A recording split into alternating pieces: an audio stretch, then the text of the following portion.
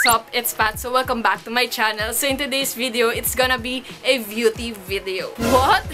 beauty video? Seryoso ka ba, Pat? Alam niyo naman na hindi ako masyadong gumagawa ng mga beauty videos kasi I'm not a beauty guru. Alam niyo na yan. Alam niyo naman na hindi ako masyadong magaling sa mga makeups. So I just wanted to share to you my tips and how to look fresh. And perfect din to sa everyday look, pagpapasok sa school. ah alam mo ba yung feeling na parang gusto mo lang maging presentable tignan? Parang gusto mo lang maging, ano yun, kaayo-ayong tignan yung mukha mo. So, ito yung gagawin kong video ngayon. So, ito ay ang gandang pulbo at lip tint lang. Very easy lang to. And I hope you guys like this video. So, enough talking. Let's go into the video. So, ito yung first na nalagay ko sa mukha ko. Siyempre, kailangan mo natin i-moisturize yung face natin. And gamit ko tong Aqua Moisturizer Whitening from iWhite. Mura lang siya guys. I think 20 pesos lang. Ayan. Sa Watson siya nabibili. And super ganda niya kasi compare sa ibang moisturizer. Alam mo yung hindi malagkit? Alam mo yung malagkit na moisturizer? Hindi siya ganito. Ito, parang comfy lang siya. Comfy. Ano to? Jacket. Ah, parang ang lamig niya sa skin niya. Hindi siya, ano eh, pag dito, hindi malagkit pagtapos mo ilagay ito. Kasi may mga ibang moisturizer na, alam mo yun, ang, ang lagkit sa feeling. So, yun nga, tapos na tayo sa moisturizer. Ang next naman na gagawin natin ay yung concealer. Siyempre, pantanggal eye bags. Kailangan natin takpan ang ating mga eye bags. Natingnan nyo naman yung eye bags ko. On flick na on flick, di ba? Yan. Everbila na yung gamit ko.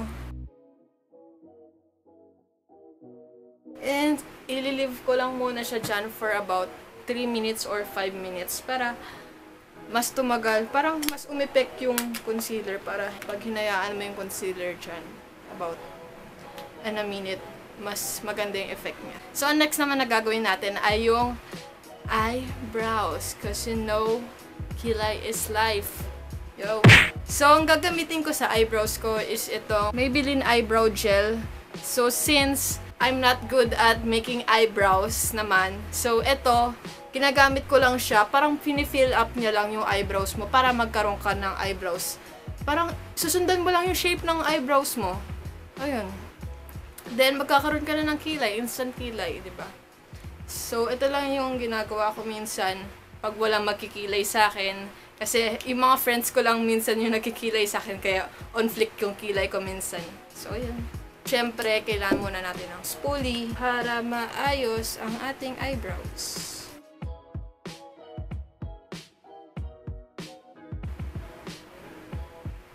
Yan, finifill ko lang yung eyebrows ko. Sinusundan ko lang. Parang,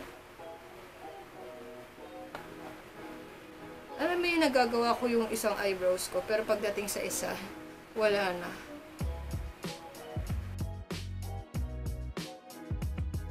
So, yan, may kilay na ako.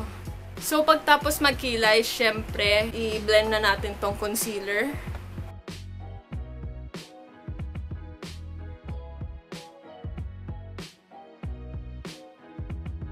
So, since gandang pulbo at lip tint lang to, syempre kailangan pa rin natin yung mascara. Eyelash curler ko ay from Fashion 21.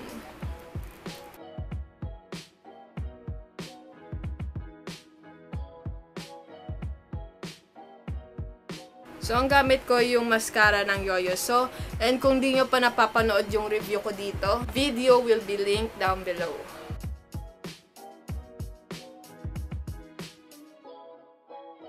So, since gandang pulbo at lip tint lang to, so, ang primary na kailangan natin dito ay yung lip tint. Yung lip and cheek na kung gusto nyo. So, ang gamit ko ngayon for my cheek is this. Tony Moly Delight yung gamit ko for my cheeks. Mas gusto ko kasing ito gamitin sa cheeks ko.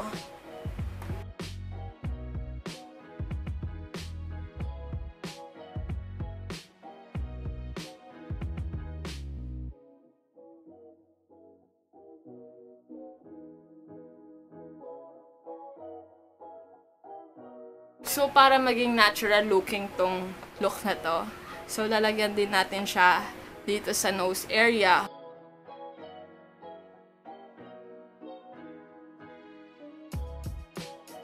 Sa lips naman tayo, guys. So, ako kasi usually, para mas magandang natural look yung lips ko, ilalagyan ko siya muna ng concealer. And ang gamit ko rin ay itong Ever Bilena na concealer stick.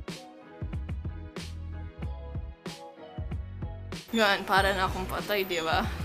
so, saka ko siya ngayon lalagyan ng lip tint. So, ang gamit kong lip tint para sa akin lips ay itong 80 Organics Super pigmented. And ang ganda. And ang shade nito ay cherry.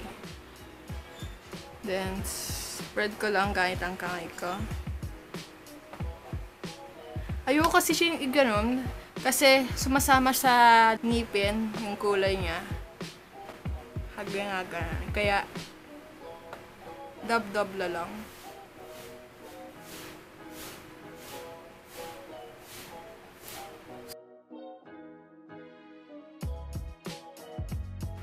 So, yes, tapos na tayo sa ating lips. So, ang gagawin naman natin ay is to make this final. So, syempre, kailangan natin ng pulbo para hindi maging oily. So, ayun. So, since gandang pulbo at lip tint nga lang to, ang gagamitin natin ay powder lang talaga. Johnson's Baby Powder yung gamit ko. Of course, kung gusto nyo din gumamit, pero pwede na din kamay. Pero, mas gusto ko to. Para may ano.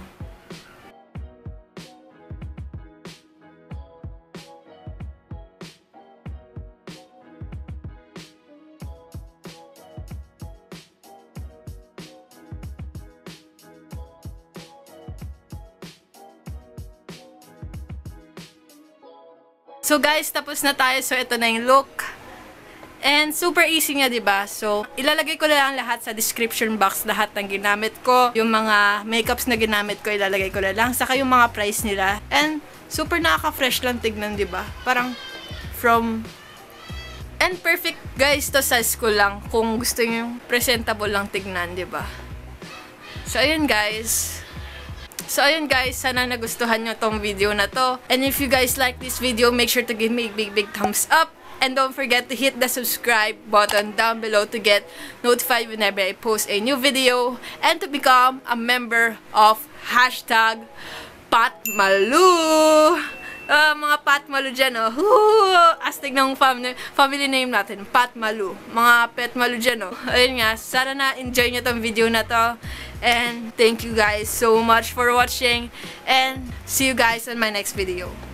Bye! About to leave, already packing, come with me.